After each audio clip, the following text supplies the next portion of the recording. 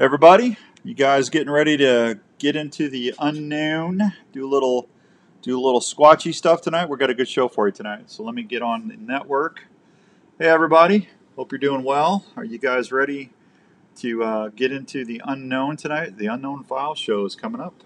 So I'm going to go ahead and get ready. Let's just go ahead and start and uh, get into it tonight.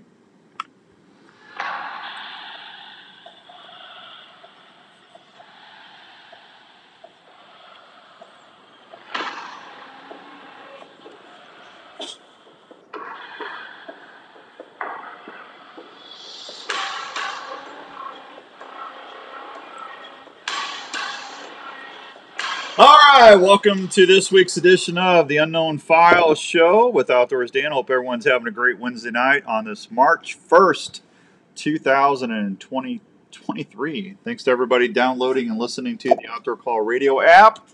Morning, uh, afternoon, evening, Steve. Hello, Rick. Everybody's getting all excited. Got the stream going on Facebook, and uh, we're going to have fun. Gary Peck, good evening there, my buddy, up in uh, Minnesota.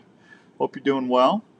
We're going to have a little fun tonight. We're going to be talking uh, with a, a, gentleman that's written a really nice book on Bigfoot influencers. So I'm going to go ahead and get him on the line. Hey, let me tell you real quick the show is brought to you in part by our good friends out at Revelton Distillery, official spirit the Outdoors Unknown Show, Unknown Foil Show, I must say. Thanks to Rob and Christy and everybody down, Hank, and everybody down at Revelton. All right, let me go ahead and get this on. We'll get our guest on and we'll get cranking. we're, what's up, Eric? Yeah, we're talking Bigfoot tonight, Eric. Yeah, you know, Bigfoot would do better if they had Lumenok, man. Absolutely. Hello, Tim. It's Outdoors Dan. You're on the Unknown File Show. What's going on? uh, um, everything's good, Dan. Uh, glad to be here. We just want to make sure our connection was is good right now. Can you hear me? Okay. Well, I can hear you. Let me see. Testing. One, two, three. Testing. Testing. You good? Yeah. Well, you're probably better off if you don't hear me, but that's all right. we'll just get, we'll get through it. How where are you at tonight? Uh, I'm in uh, southern Delaware on the on the East Coast. Ooh, I'm jealous, man. Seafood City. Good for you. Yeah, definitely. We definitely have a plethora of uh, of options here. There's water all around, no matter what you want. How's how's the soft shell crab right now? Yeah, we're out of season. Yeah. You know, so we, yeah. Yeah. We, I mean, you could probably find them hibernating, or you know, but yeah, we're a little little early yet. Yeah. Hey Hank, how's it going? Hank says Sasquatch is watching. I hope so. Uh, We like we like to get squatchy here on the Unknown File Show. Uh, hey, I, don't think, I don't think we have any here though in Delaware. So. I don't know. I got. I can look it up real quick. Hey, uh, let me tell you who Tim. Tim is the author of the Bigfoot book and book Bigfoot influencers. He uh, he is uh, has a plethora. You like that big word there, Hank? Plethora of uh, folks that are into the uh, into the uh, Bigfoot spectrum. Dr. Jeff Meldrum, who uh, is a very well known biologist out there in, out there in the West, uh, Survivor Man, Les Stroud, Peter. Uh, is it? Help me out on that, Tim. Is it Pete, Peter Barney? Peter Byrne. Byrne. Byrne. I don't want to mispronounce Mr. Burns' name. Mark DeWerth and uh, Thomas Steenberg and Kathy Strain, just to name a few. And if you want to go check this book out, it's uh, a really good read. It's got QR codes in it, and uh, this is a volume one of the series. And I encourage you to go check it out. We're going to be talking a little Squatch stuff tonight. Man, I love uh, I love the pictures you sent with your bio. Good pictures. No, thanks. Yeah, I, I, I think I have a face for radio, but uh, you know. No, I don't don't be stealing my line. Don't be stealing my line. Tim's also in, uh, in, uh, in the Bigfoot Influencers podcast, which airs weekly and continues to explore and deeper dive into the phenomenon. Tim and Dana's goals through the conservations conversations with each guest. You know, Tim, I really need to get reader glasses. I've been putting it off, and I keep. I'm, I'm going to have to get them one of these days. Conversations with each guest are to help educate the audience while providing a welcoming atmosphere. Each episode is entertaining and fun, and they don't mind asking tough or controversial questions. And this was uh, the Crypto Zoo News. Uh, help me out with that. Hominology? Hominology? Yes. Like a hominid? Yes. Yeah, Book of the Year of 2022 and Squatch DTV Book of the Year of 22. Congratulations, Tim. Thank you. It's humbling. It definitely it's an interesting story how it started, but it's definitely uh, you didn't know how to be here. And side note, I, I put my readers on for this. Uh, Did you? You know, I had LASIKs done like 25 years ago, and the guy, the guy that I went to, this is when they first started doing LASIK, and the guy messed it up. Yeah, I went from being nearsighted to farsighted, and he forgot to he forgot to adjust for my astigmatism. But what he did is he made me uh, I could see my near vision. I'm sorry, my far vision. I still needed a small corrective lens. I I couldn't wear contacts anymore. That was the bad thing. I had to I had to wear glasses, but my lenses were super thin. But the the nice thing about him messing up is I I, I can still see my hand at five six inches in front of my face. Um, so you know, unless I'm reading small type, I'm usually okay. But uh, anyway, I'm the opposite. How's that? How's that affect your you being out in the woods? Uh, just I just yeah, well, it stinks because I, if it's cold, my glasses are always fogging up on me, so I'm constantly having to clean them or you know not wear like a neck gaiter. I love wearing a neck gaiter when it's cold because it keeps you you know it keeps you warmer.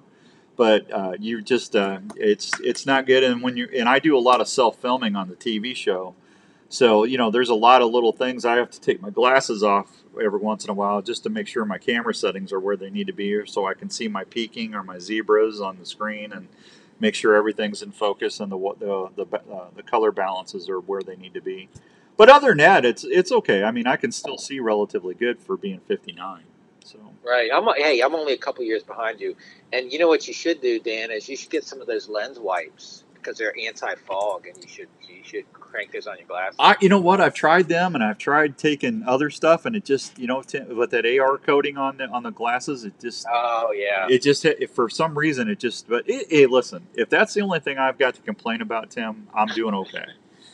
Yeah, as long as you still climb a tree, right? Yeah, absolutely. Tony, good to see you. Eric, my buddy at Lumenok, Mr. Price. If you haven't, if you don't have Lumenok on your arrows, you're messing up.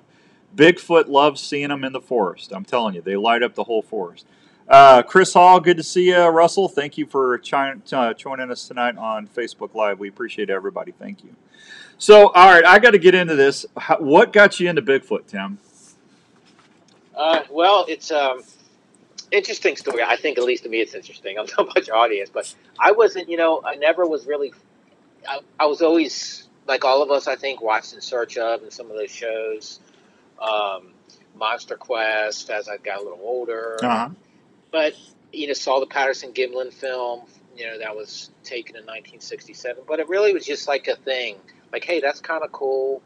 You know, you know, we'd move on with life and and then my, you know, my my wife was always into it, and her son Gabriel used to watch Finding Bigfoot. uh, You know, I guess starting in around 2000s or ish. I guess that's when that show came out. Yeah. And um, she finally convinced me. She goes, "Hey, let's go to a Bigfoot conference." And I thought she was a little crazy. I'm like, "What?" You know, but I knew she was into it. Yeah. So I'm open minded, and I thought it was cool. And and we we uh, I said, "Sure, let's do it." And I didn't know what I was walking into because we'd never been to one of these. We didn't know how to dress, didn't know, just didn't know what to expect. Um, so uh, we went to a conference in Ohio, um, the Ohio Bigfoot Conference, which is one of the you know one of the long-standing one. I think they're going into the 35th year of having conferences in a, Bigfoot conferences in Ohio, which is kind of cool. Mm-hmm. And um, you know, I went to one of these conferences. Uh, we met some really cool people. The organizer of the event, his name's Mark DeWerth. Um, he saw us. We got there early. Actually, you mentioned uh, Dr. Jeff Meldrum. Yep. Yep. Uh, who's a uh, uh, studies uh, uh, as a professor of anatomy, and he uh, he actually happened to be checking in the hotel at the same time I was, and we were, and just kind of started kind of just having a, a, a light conversation with him, and you know, just kind of cracking on with him because I didn't care. Well, you know, I had, I just knew he was this guy named. He's been on TV a couple times, you know, so Yeah. it didn't matter to me. so, Well, you know, you, you know Yeah. what, and I don't mean to step on you. He's No, go ahead. he's really one of the uh, one of the really serious.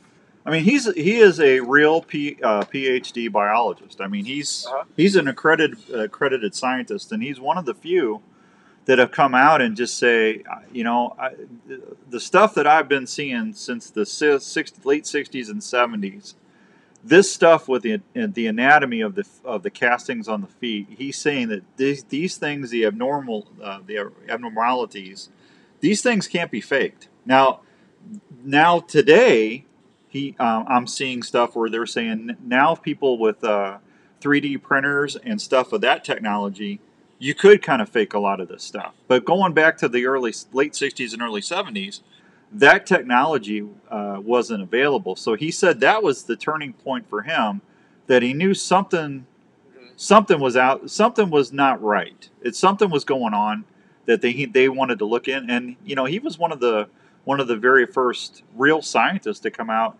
because most people in that line of work, you know, they avoid this like the plague because they don't want to they don't want to get the scrutiny or the uh, you know they don't they uh, what's the word I'm looking for Tim when people uh, they don't want uh, criticism, maybe. Well, the criticism, uh, the criticisms yeah, and stuff like that. The, uh, yeah, yeah, yeah, yeah. Yeah. Well, yeah, and, and, and Jeff Meldrum, he's, uh, you know, he he's, I guess, back in the '90s, yeah. you know, he and he studies what his specialty is bipedal locomotion. Right. So he studies how animals walk and and and and, and their their their prints, and that's what he does and he was um, he got the baton unofficially passed on to him to from a, a gentleman by the name of Dr. Grover Krantz, who uh, was uh, also at Washington. He was at Washington State University, and he he he wrote a book, and he studied this. He was maybe the first.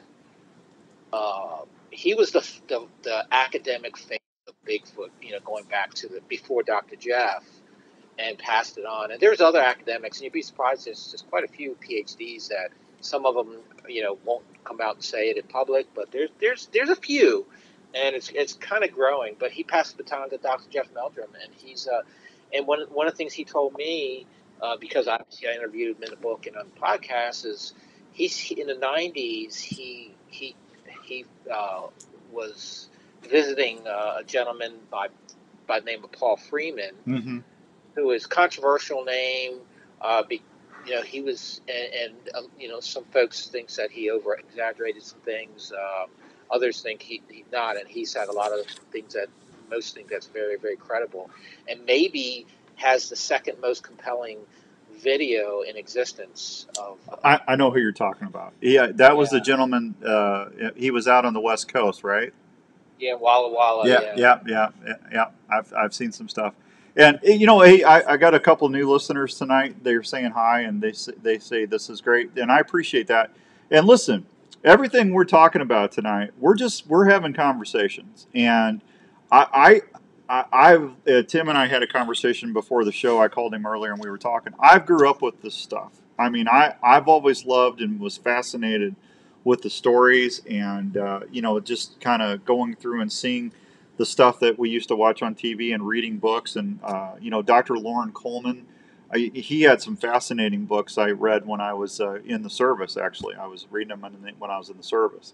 But, uh, you know, we, we can't, I don't know if there's anything exactly out there, and I've never seen anything, I've never heard anything.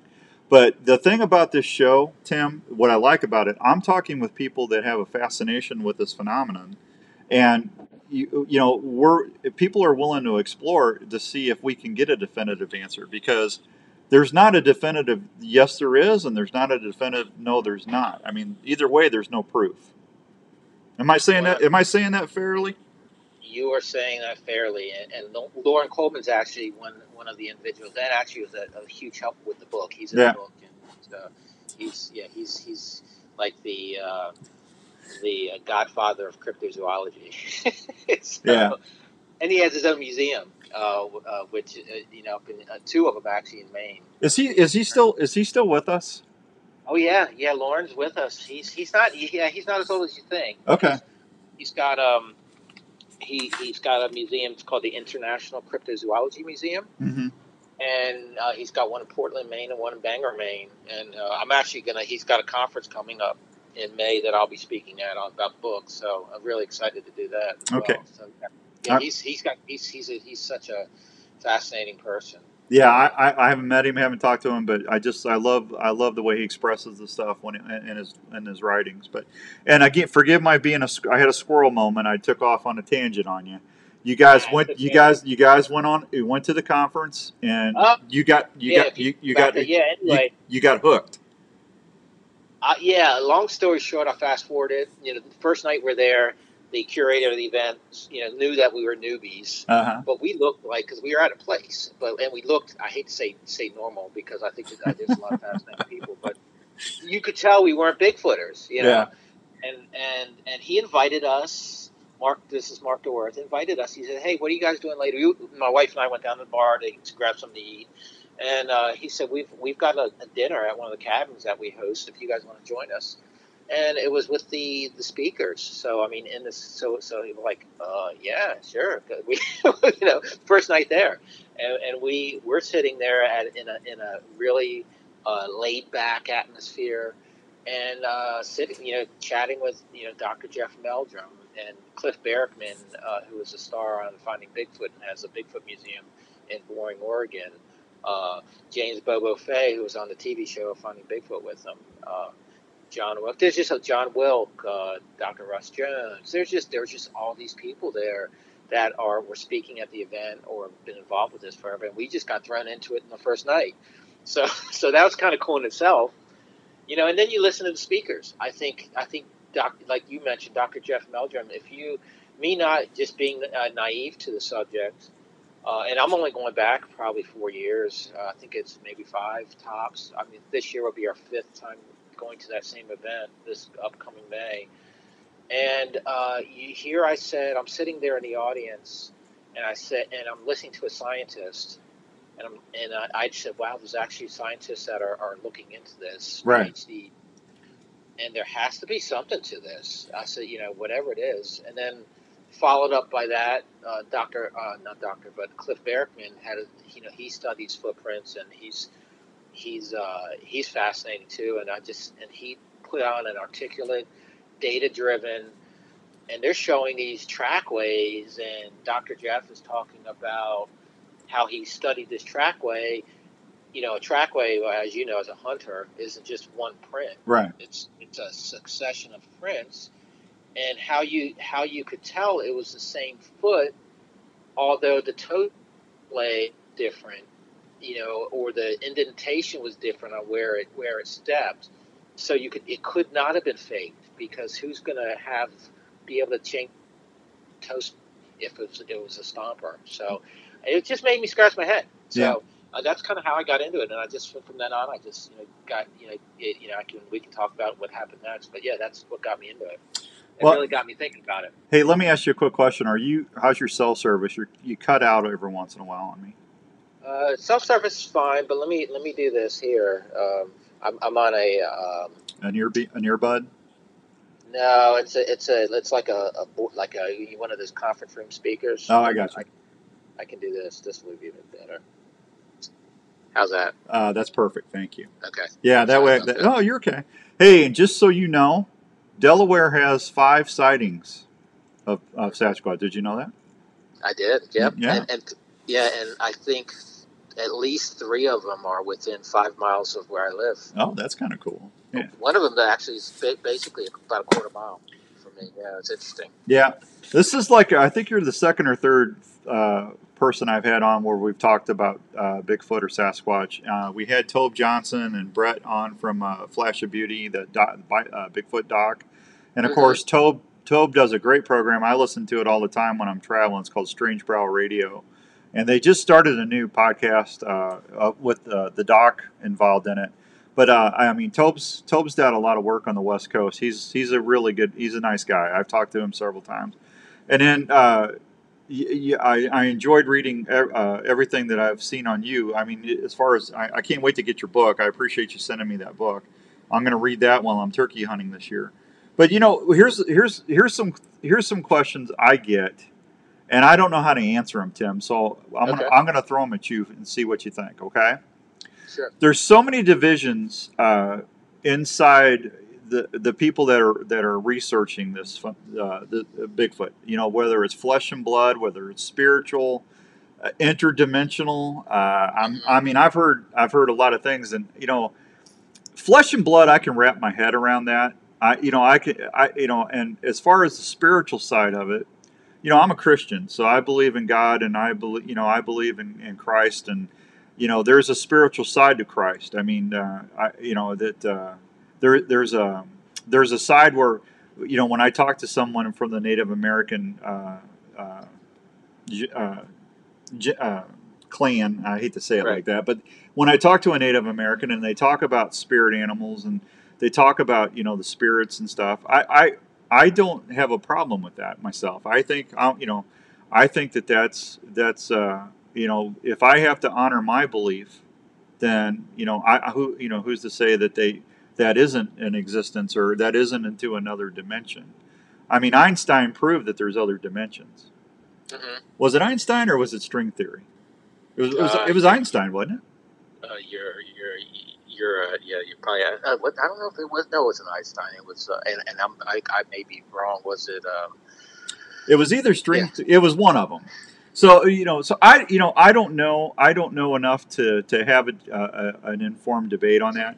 I do. I just know from all the hundreds of thousands of reports from all over North America uh, that people are they're they're. I mean, they're they're actual there. I mean, that data is all there. You can go up on the uh, big. What is it? BMO, BF, BMR, or B, uh, BFO? it's it's it's the the, the BFRO.net yeah, that's BFR. Bigfoot- Yeah.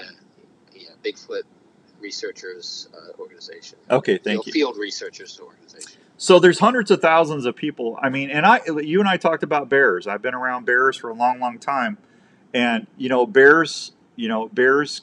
I think are a lot of the missing uh, people are seeing a bear. They're either going up reaching for acorns, or you know, bears can be uh, bipedal. They can walk on two legs for short distances.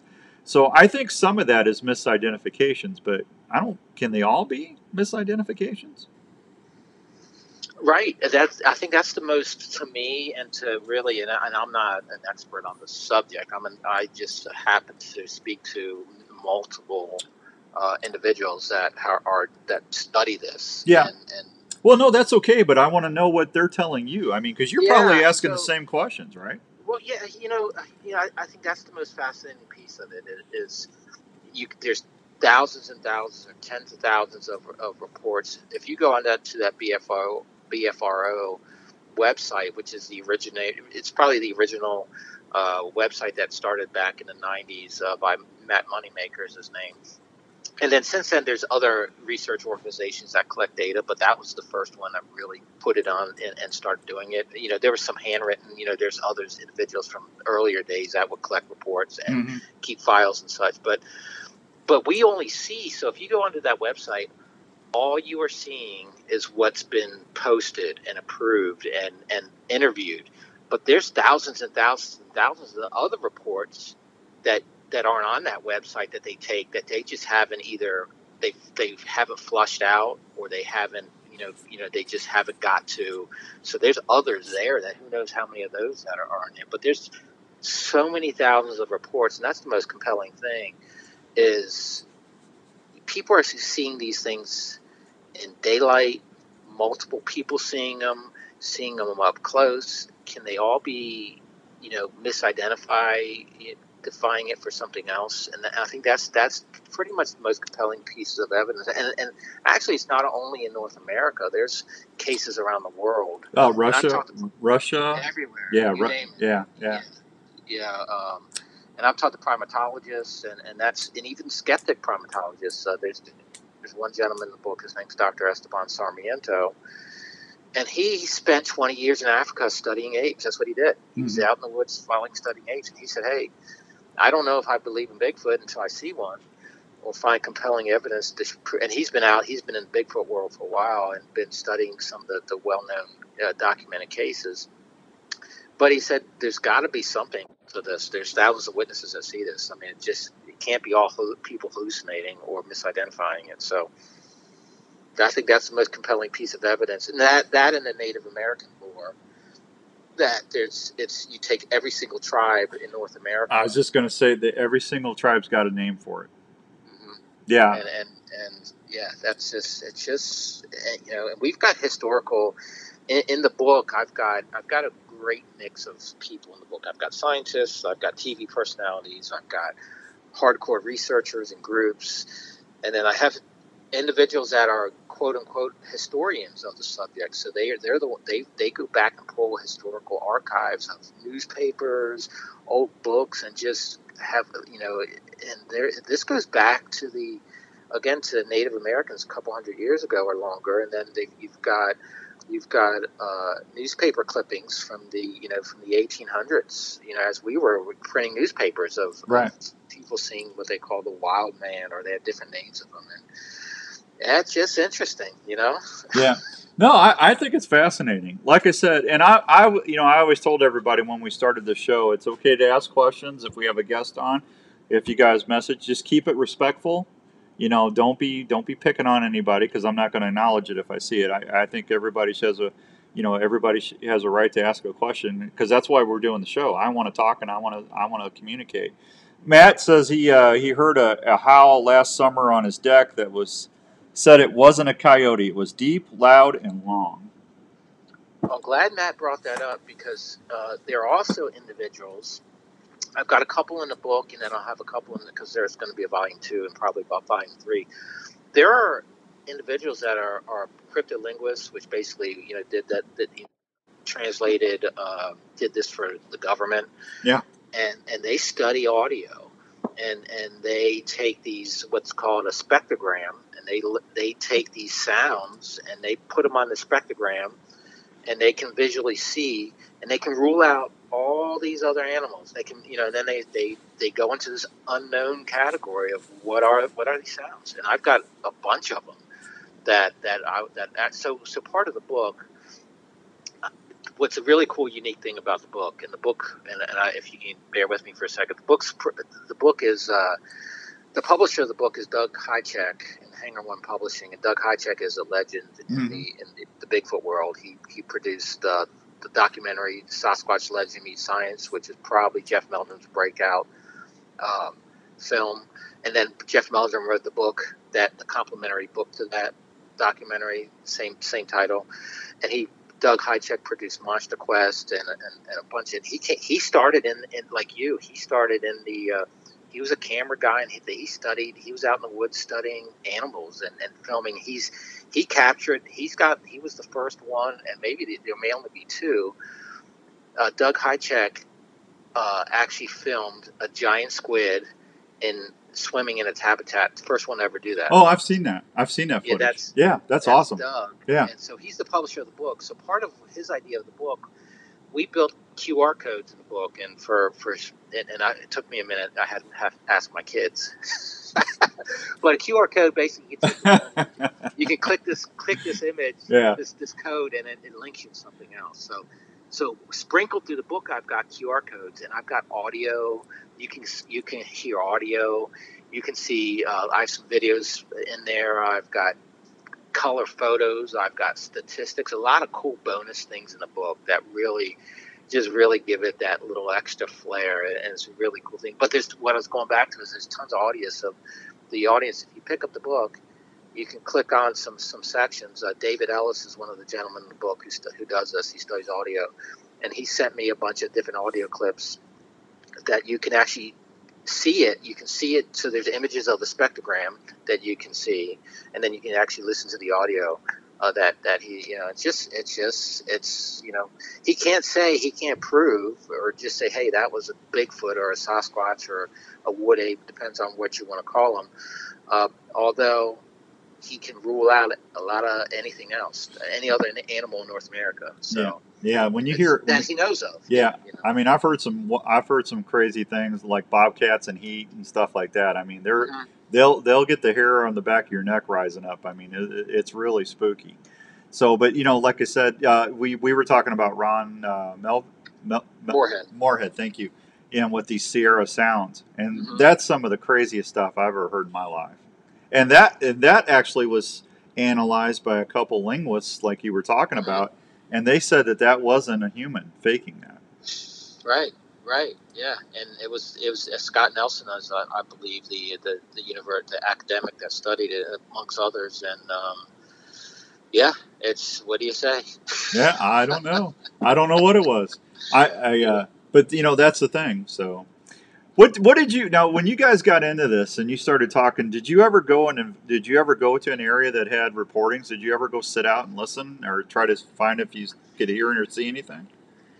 You know, not yet. Uh, unfortunately, I, I mean, I mean, well, we've gone out. So, so interesting enough is one of the areas that one of the the areas that we well the conference that we one of the conferences that we attend to every year, which is the Ohio Bigfoot Conference is, is, that we talked about earlier. Ooh. It's actually held it's held at Salt Fork State Park, uh-huh. and that's that's got a history of sightings. So it's one of the only places that you can go to a conference and you can walk right outside of conference doors and walk in the woods, and you've got history there of Bigfoot. So, I mean, we've done that, but we haven't done any hardcore.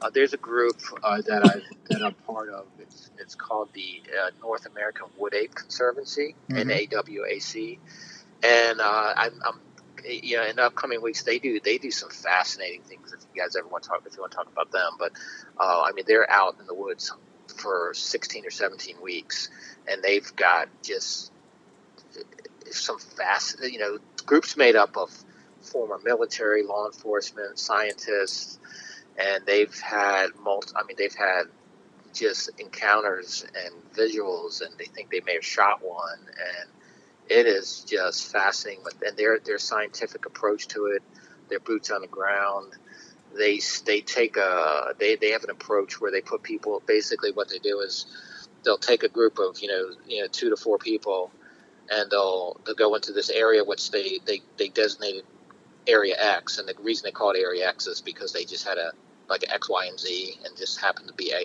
area X is the the most active one. Uh-huh. and, and they'll send a group in uh, and and again, and these are woodsmen. These some of them are biologists. Some of them are again former. You know, they're just all kinds of credible type people. Um, and they'll send a group in for for a week, and then after, and and and they've got certain protocols. And then after that week, another another group will come in and relieve them.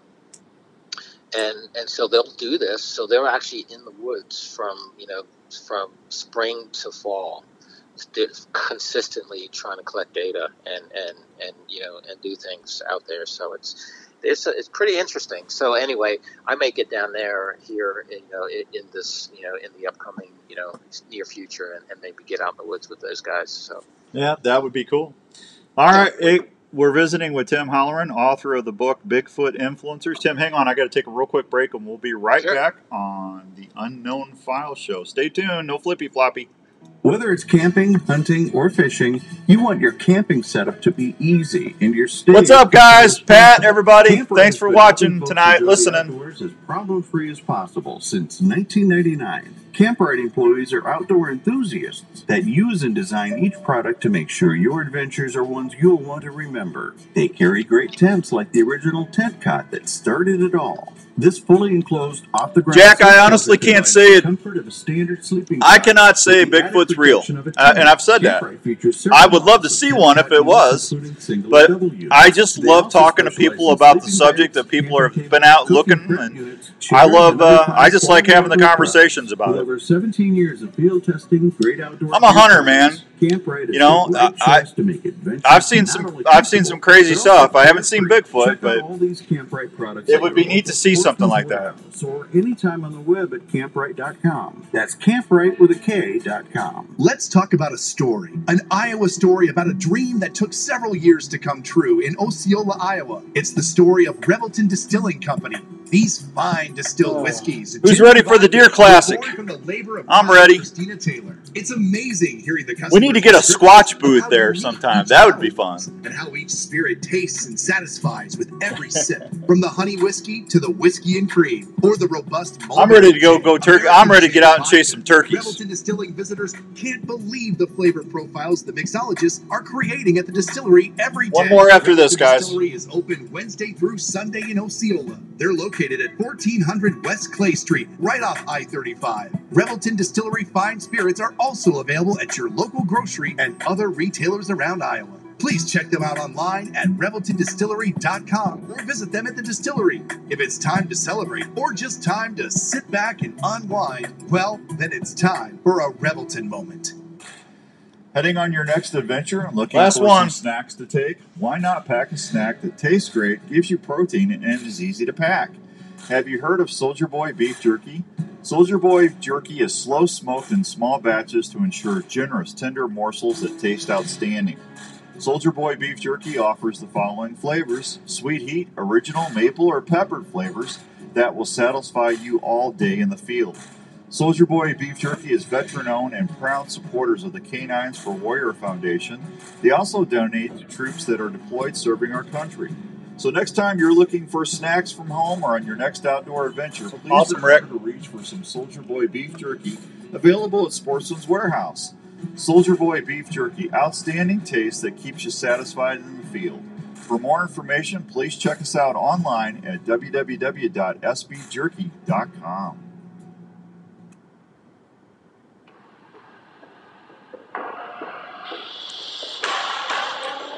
All right, welcome back to the Unknown Files show. Hope everyone's having a great Wednesday on this 1st of March of 2023. My guest is Tim Halloran, and we're talking about the book Bigfoot Influencers and some of the stuff that's uh, in Tim's book. Tim, I got to ask you, what's some of your favorite chapters in the book?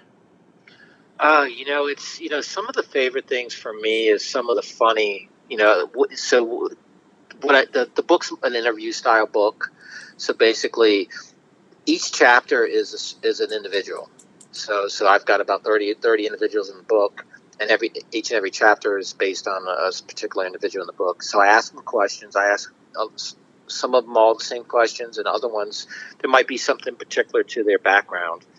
And I also ask them a few personal questions because I thought it might be uh, cool or fascinating just for the audience or the readers, just to, you know, to get a little bit uh, to know these people more than just what they see on TV or they hear on the radio or, or what they've read in books, and they can get some personal things. So some of the stories are are some of the the accounts are fascinating, and then some of the funny stories are great. So there's an individual.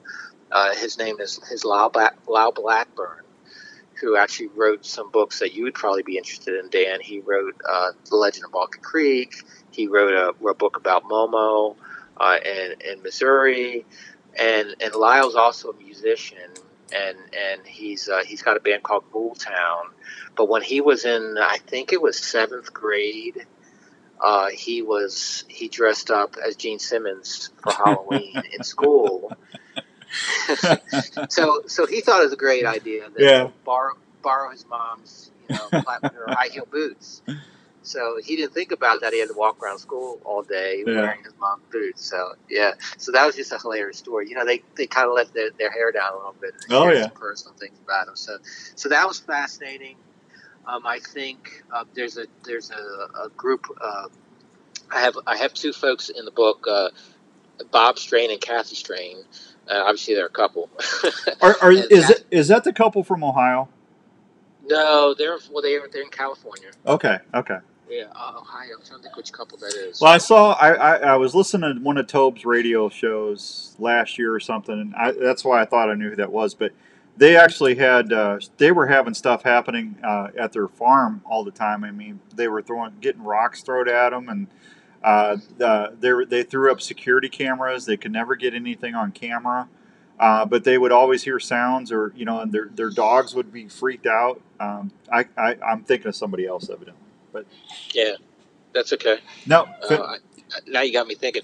Uh, so, so, but, but Bob and Kathy Strain had a them and two other individuals, and they were down in southeast Oklahoma, uh huh. and, and with the North American Wood Ape Conservancy, and they they had a daytime sighting, and they, they saw two individuals. You know, I say individuals, two uh, alleged uh, Bigfoot, or they call wood apes in the group, and they were they assumed one was was they were younger, but they had a daytime visual, and they chased them up a ridge, and four four of them saw it, and and they.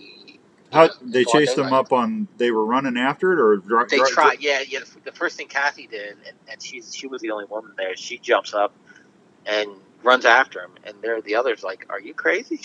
And of course, they're so fast they weren't even they Yeah. they, they didn't have a shot, but they all they all saw these two creatures running, and they saw them going, you know, and they they all got fe- they all saw certain features in them and how fast they were, and they saw them run up, and it was just Nobody, nobody. fascinating. Yeah, that's that is great.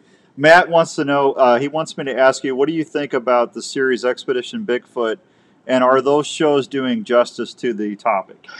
You know, that's that's that's a great question, and even going back to finding Bigfoot. So I think I've asked I asked that question. Uh, I'll start with finding Bigfoot, folks, uh, show because that came on earlier. So people asked that same thing with finding Bigfoot. They thought it was a lot of people say, "Hey, they make it look like it's a big joke." I I think uh, we all have to remember it's entertainment, um, and so they've got to get viewers. I think starting with finding Bigfoot crew, I think they did their best to uh, not say anything that wasn't true, and and they and they had they they I know they fought with the producers, and they were able to look at the uh, before any episode was aired to make sure that they didn't you know basically make them look like idiots.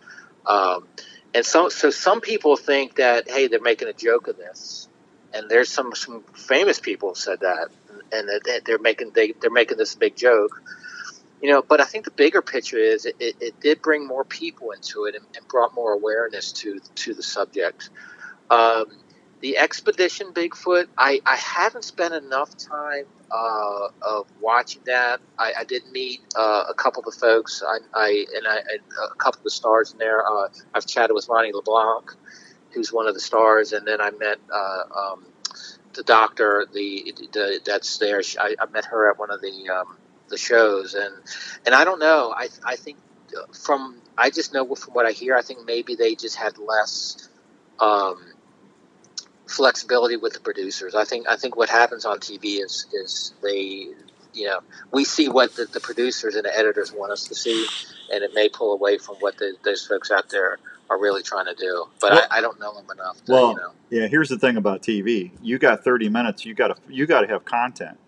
So Mhm. if you're going out there in a field or the woods and nothing happens, you got to fill 30 minutes of content. So that stuff's you know that's where you get into shenanigans a little bit or you know stuff that's scripted. So Matt, I, I think that's a great question, Matt. And uh, you know I uh, I I mean Tim, I applaud you for asking him that. You know, I, I quit. I don't watch any of the Bigfoot shows, and I, I don't know if I've said that on the air on the show or not. I, I would rather go read the books, uh, Mhm. you know, because I, I just from doing TV for twenty something years, I, I know how much scription, uh, how much stuff scripted on TV, because you're you're you're constantly per, you got to fill that content. One hundred percent, and I actually, I actually speak, speak with every individual in the book about that. Uh, it's one of the questions I ask. If you're if you're a new researcher, where do you start? Yeah. What books do you start with? And and I think you've got to go back and, and, and read first. I mean, you can still watch TV shows, but y- you've got to know what happened historically because it it evolved to where it is today. Yeah. No, So I, you have to go back to the early researchers and the ones who wrote books and Yeah, and I'm not saying don't watch them, folks. I'm, Yep. you know, if you enjoy watching them, by all means, keep watching them. I'm not, I'm not saying anything negative about them. I just, from my own, for doing this show, to ask questions and stuff, I, I just, you know, I, I thought it would be better served if I didn't watch them. Uh, Right, right. And I have a list in the back of my book because I asked every researcher what books they would recommend. So I took all their suggestions and compiled it. And there's Yeah. a lot of the same suggestions. So that's kind of a cool thing. It kind of gives, because individuals are new uh, enthusiasts that are interested and they're new to the subject, or even Right. if they're not, they say, "Where do I start? What Yeah. books do I start with, or how do I get involved with this? What do I do?" So, and that's kind of was what happened with me with writing this book. It was a personal quest. I you know, I went to some of these conferences. I listened to podcasts. I might watch documentaries, and there's so many people out doing doing fascinating, compelling research. And I would listen to someone, you know, you, you know, like even on your, you know, someone like like Tobe, and I'd say, "Wow, I never heard of him before," but Yeah. he's doing all these amazing things. And I and, and I said, "Wouldn't it be great for people to have a place they can go and kind of get a start?" like say not I hate to say the who's who because there's more from my book there's more than just those people obviously that have impacted the subject. But I said what if it's almost like a directory of hey here's where you start. If you buy it and uh, so for the audience that's listening if you if you buy this book it'll give you a good foundation of, of, of some of the, the things some of the people uh, that have have influenced and impacted the subject. And it gives you a kind of a good foundation of of what's going on out there. And then like, obviously there's going to be multiple volumes because I only scratched the surface on, on the folks that are, are doing doing you know amazing things out there. So Oh, I bet. Hey, we- uh, Shiloh, uh, Shiloh Douglas said, I think there's a lot of different people uh, that are seeing things that can't be explained, or that can can they find, uh, or they can find that in the Bible says of celestial, celestial is of good and uh, terrestrial is of evil. Shiloh, there's actually in, in the Bible uh, the the, the uh, Tim help me out Ne- the Nephilim. Nephilim, yeah. Ne- Nephilim. That's there's actually stories in the Bible about giants, Nephilims, Uh, right? Yeah, there definitely is is some correlation, Yeah. uh, historical biblical correlations to, to giants, and and again, I'm not a, a biblical scholar, but uh, you know, I, I the story is I think they were fallen angels uh, that um, bred with women, and that's where the Nephilim came from. I think that's I and again, I could be totally I may No, only be half right, but I think that's that, that's a that's a I think the, the base of it. yeah. Well, that's actually more than I knew. So there you go. I learned something new tonight. But I, I just knew that there was something in there about giants, and and uh, uh, which is, you know, here's the thing. We, you know, until until you find unequivocal uh, proof, hundred percent. Um, I know that that uh, Dr. Melba Ketchum, I, I think I'm saying her name right. She she Mhm. did the DNA analysis a couple years ago, and that came up inconclusive. Um, uh, and then, according to some people, it came back where they it, it was something that was never been identified before. So it's it depends on who you talk to. Right, right, right. And yeah, and I think what some some say, even like Dr. Meldrum has said that they didn't do enough. You know, they studied certain uh, air, certain scientific DNA. They did certain DNA tests, but they didn't do enough of them. So Yeah. they didn't they didn't dive in deep enough with that study, is what some say. So so. Well, I know I, I know there's people still trying to try to get that done. You know, I mean, if Mhm. that would that would be one way. I mean, if they're that elusive, I mean, I, I mean, uh, if they can detect EMF or if they can if they can pick up like other animals can pick up uh, stuff that you know you and I talked about that earlier tonight. I know deer and I know turkey and I know bear can they can sense EMF fields, that electric uh, electronic or electric magnetic fields or EMF, however you say it. I know those animals can sense it. I mean, hex. Everybody that pretty much hunts knows or heard of hex suits. Uh, and e- Mhm. even in the even in the people that go diving, go scuba diving, they wear hex. Uh, um, uh, s- uh, gosh, I can't talk tonight, Tim. Scuba gear. yeah, wetsuits. Thank you. They wear they we- they wear they wear wetsuits with the heck technology because sharks can detect EMF. They've got they've got little little uh, little ampullae of like little cones and ampullae of fluid in their nose called uh, ampullae of Lorenzini, and they can they can actually detect a, a, a fish or a ray or something's electrical magnetic field. That's how they feed. Uh, they can sense that, and those hex suits can block that. So, who's to say that if if Bigfoot or Sasquatch is real, who's to say that they can't detect that as well? Right. You know? It's, it's it's compelling enough to, to, to look into. Yeah, I I know enough just to get myself in trouble, Tim. Right. And, and, and I don't know enough about about, those, uh, about uh, EMFs and, and Well, I'm just I'm I'm just telling you as a hunter. I mean, I've you know you and I I told you the story before uh, the earlier when we spoke. I had a, I had a really nice buck coming in. I mean, the wind was totally in my face. A deer's best defense is their nose and their ears. Um, they got pretty good eyesight, but their nose and their ears, they can. Uh, uh, I've talked to I don't know how many biologists in 25 years of doing the the outdoors Dan shows. You know, they, they can smell a human up to 300 uh, 300 yards away. That's how prolific their sense of smell is. Bears are even have an even better nose than a deer. But uh, you know, you you got the wind in your face. There's no way your scent's getting out there, and that buck all of a sudden will just stop and look look down your way. And I'm 20 feet up in a tree, Right. and I didn't move. I didn't move the camera, but that buck just kept staring, and all of a sudden it just turned around and walked the other way. And he saw something in, and he saw me or saw my EMF in the tree. Um, because here's the thing: a tree limb that moves, you know, a deer will sit there and keep feeding; it won't pay any attention to it. But but a predator, uh, a coyote or a bobcat or a mountain lion or a human, if you move, they see that EMF field. I, I believe that 100% when the biologists tell me that.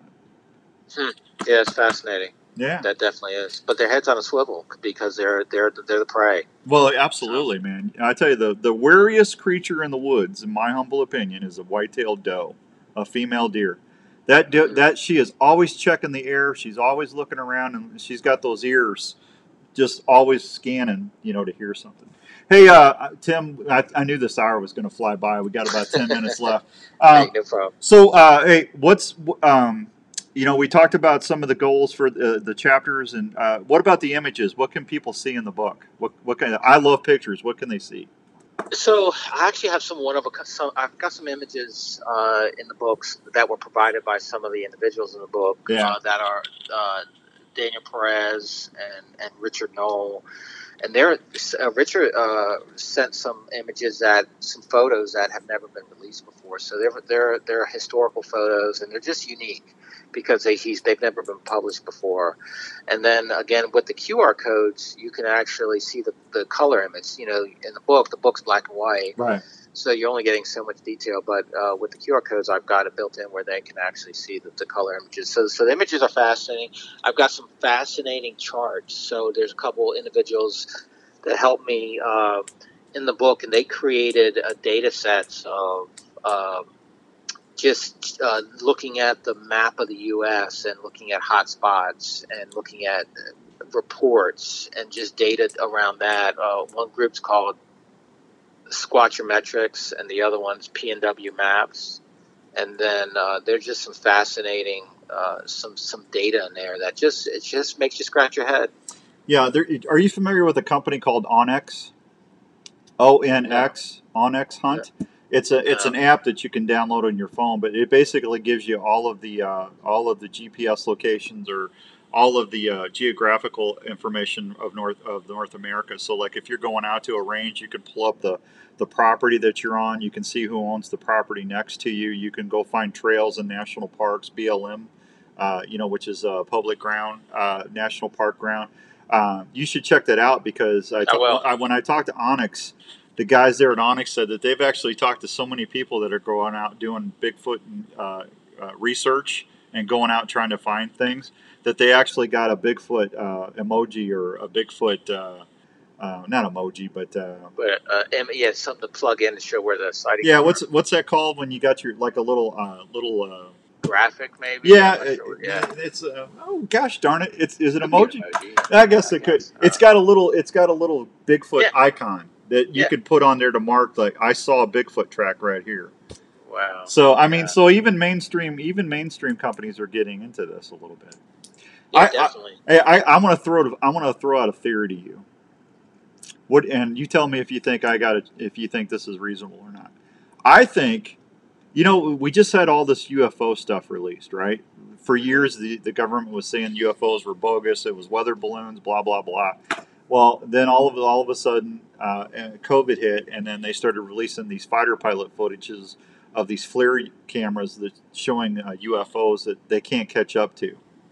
So they don't know what it is. It's an unid- they're not saying they're flying saucers from Mars, but they're they're they're they're showing it's they're saying that there is something there now. What do you think that the government already knows about big? That they know that this is there because one thing that I've that I've noticed and just some of the stuff that I've been researching, I don't see where the government ever interviews any of these people that encounter anything related to Bigfoot. Have you noticed that? Right, yeah, and, and I can just speak for the individuals I, I, I have talked to, and uh, the, I, so the general consensus, just from again my opinion and from what the opinion of the individuals I've talked to is, they don't think there's a collective effort uh, to to uh, an organized effort to to, to hide this. Uh, although they, they, you know, they're, you know, if someone's in a park, they report it to the park ranger. Yeah. Or they they call the police department, and they and, and, and sometimes they keep these records, sometimes they don't. But there's not an official, quote unquote, database of these reports by the government. So you know, so if you and I are out, out camping and and we have something happen to us and we go to the park ranger and we report it, sometimes it just goes in a file, sometimes it gets thrown away. There's just there's no database around it.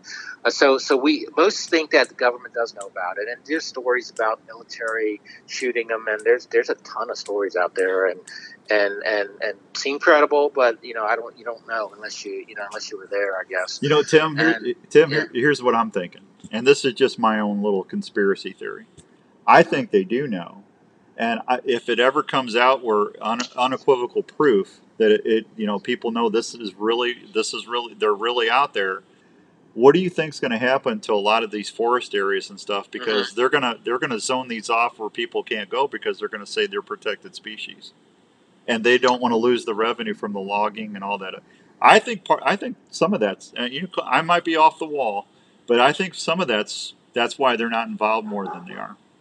No, there are many who feel the same way, and that's that's one of the biggest reasons why they folks think that the government is not making this public is because of the logging, the multi-billion-dollar logging industry, or or the forests that, that get the tourists come in. Yeah. and they've got to protect the land. You know, everyone goes back to spotted owl. Yeah, I was- yeah, owls. Yeah, remember that mess? Yeah, Yeah, so I so so that that's I think that's the biggest reasoning that that uh, most individuals feel that the government is is not coming forth with it because of that. And, Well, you know, I'm glad I'm not the only one that thinks that. you're not. Yeah. You're not. You're definitely not. Yeah, because you know sometimes when I'm sitting out there waiting for something to come by to fill a tag, and I, the, the the the the the deer and the turkey often outsmart me, Tim. I mean that's just the way it is. I I lose more than I win, trust me. But when I'm out there waiting, it's amazing what ponders through my little pea brain sometimes. Well, so so you remember? I mean, your audience probably knows who Action Jackson is. Action The Jackson. Action for the famous uh, park ranger from Yellowstone. I don't know if I know who that is. Story.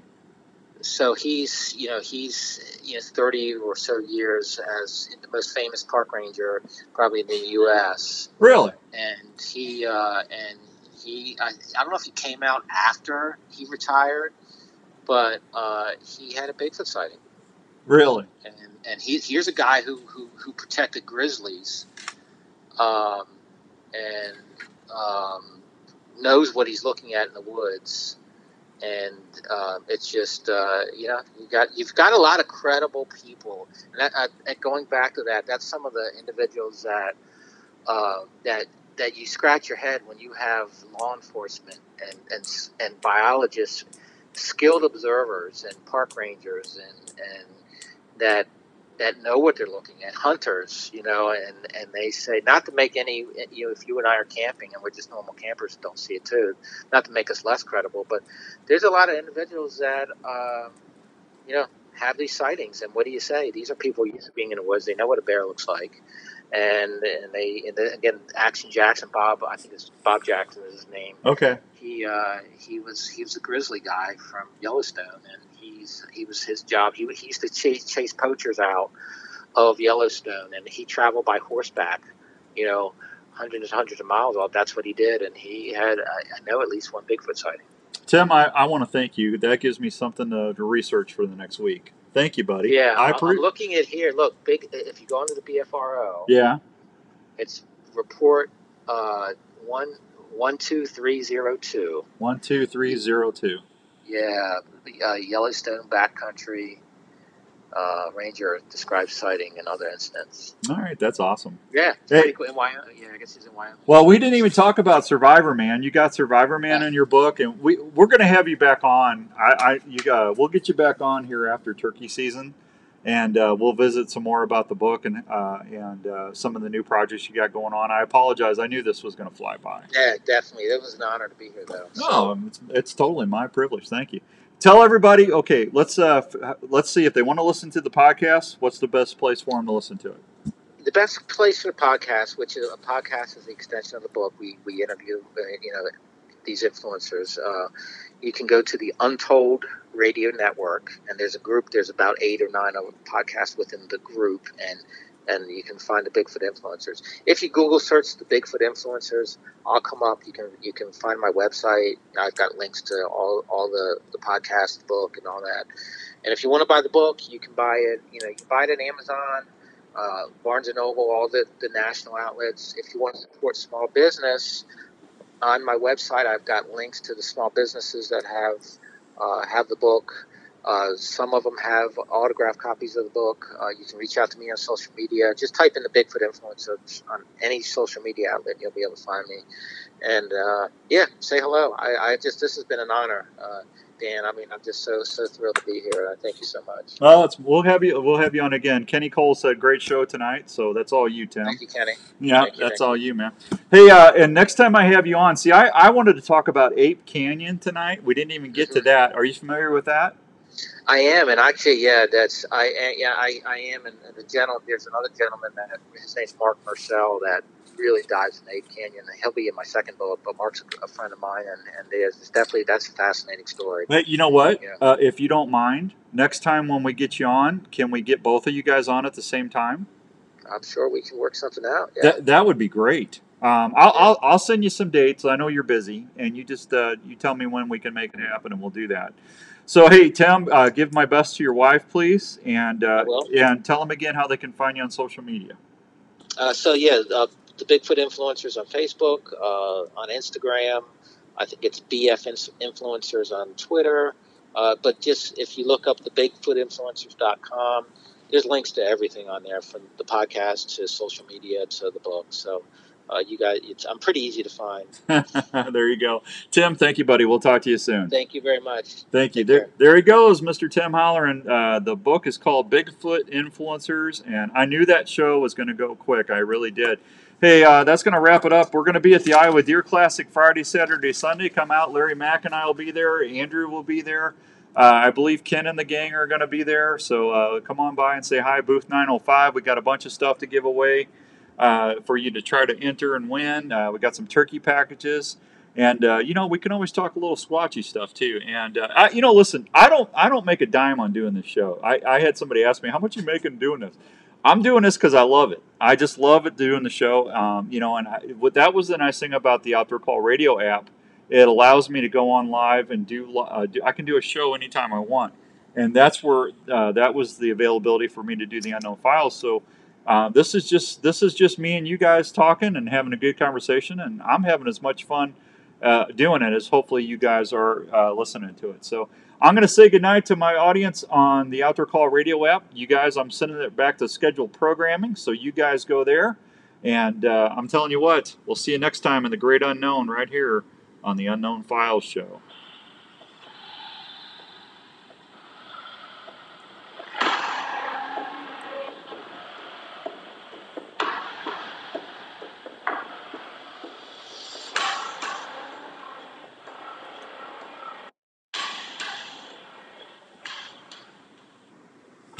All right, gang. We are off the air. That's awesome.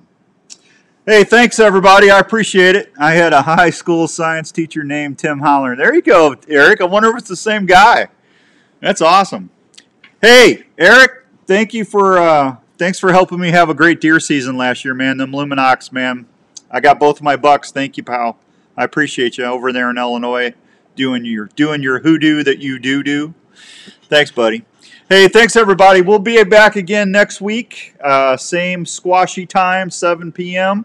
If you got something going on, hey, if you got a story, if you got, if you've had something happen to you that you just can't explain, go to the outdoorcallradio.com. That's the website. My email's right there. At the bottom of the page, you'll see my big email thing.